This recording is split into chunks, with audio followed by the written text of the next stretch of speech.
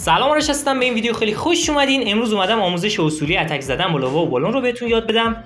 پس بریم ترکیب رو یک بار با هم ببینیم. دو تا lava سی تا بالون 5 تا healer یه wizard و دو تا super wall breaker و spell هم 4 تا خشم دو تا سرعت و یه دونه سم و داخل clan castle هم 9 تا بالون و یه spell freeze و یه دونه خشم. بدون معطلی let's go اولین حریفی که برای ما پیدا می‌کنه رو حمله می‌کنیم.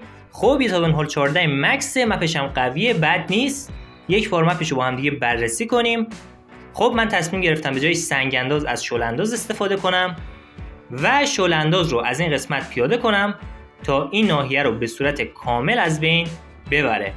خب ما شل انداز رو در این قسمت استفاده می‌کنیم سپس باید کوین رو به وسط مپ هدایت کنیم تا ایجل و این دفاع هوایی رو از بین ببرن. برای این کار ابتدا کینگ رو از این قسمت پیاده می‌کنم یه دونه ویزارد پشت سرش قرار میدم و صبر می‌کنیم تا مخزن رو تخریب کنن.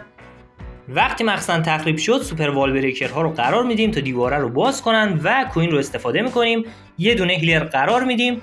توجه داشته باشید وقتی که king و queen در کنار هم هستن همه healer ها رو استفاده نکنید چون healer ها میرن و به king heal میدن و اینجوری queen پوشش نمیشه. وقتی king از بین رفت بقیه healer ها رو استفاده می‌کنیم و صبر می‌کنیم که queen eagle و دفاع هوایی رو از بین ببره. و همونطور که می‌بینید شعله انداز به خوبی اون منطقه رو تخریب کرده. فقط inferno باقی مونده. inferno هم با استفاده از بالون های داخل clan castle تخریب میشن. خیلی خوب queen داره eagle رو از بین می‌بره. بعدش اگه بره سراغ دفاع هوایی عالی میشه. خیلی عالی خب تا اینجا بد نبوده. همه چیز همونطور که می‌خواستیم پیش رفته. حواسمون باید به time هم باشه که time fail نشه. شعله انداز دیگه کارش تمومه. بالونای clan castle اگه برن سراغ inferno عالی میشه. خب همه چیز همونطور که می‌خواستیم پیش رفت. خب queen دفاع هوایی رو از بین می‌بره. یه spell خشم بلا فاصله پشت سرش استفاده می‌کنیم. دو تا lava در این قسمت استفاده می‌کنیم و سپس همه بالون ها رو از پشت سرشون پیاده می‌کنیم. بلا فاصله warden رو پشت سرشون قرار میدیم. سه تا spell خشم در این ناحیه استفاده می‌کنیم. سپس champion رو قرار میدیم و از این طرف حواسمون به queen هم باید باشه. خب یه spell خشم اینجا روی queen استفاده می‌کنیم. یه ستاره تا اینجای کار دریافت کردیم. یه spell freeze روی town hall استفاده می‌کنیم. سپس spell های سرعت رو روی سر بالون ها قرار میدیم.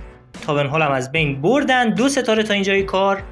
خیلی عالی یه spell سم داریم روی king استفاده می‌کنیم. ability warden رو کلا فراموش کردم مشکلی نداره. الان استفاده می‌کنیم. خب الان ability champion. خیلی عالی ability queen رو هنوز داریم یک دقیقه هم time باقی مونده و با استفاده از همین استراتژی ساده شما می‌تونید سه ستاره از هر map ی دریافت کنید. امیدوارم که از دیدن این ویدیو لذت برده باشید. اگه خوشتون اومد حتما ویدیو رو like کنید نظرتون رو توی قسمت کامنت ها برام ارسال کنید و اگه از این سبک محتوا خوشتون میاد بگید تا بیشتر براتون قرار بدم. ممنون میشم برای حمایت از من. channel رو subscribe کنید. خیلی دوستتون دارم تا ویدیوهای بعدی. خدا نگهدار.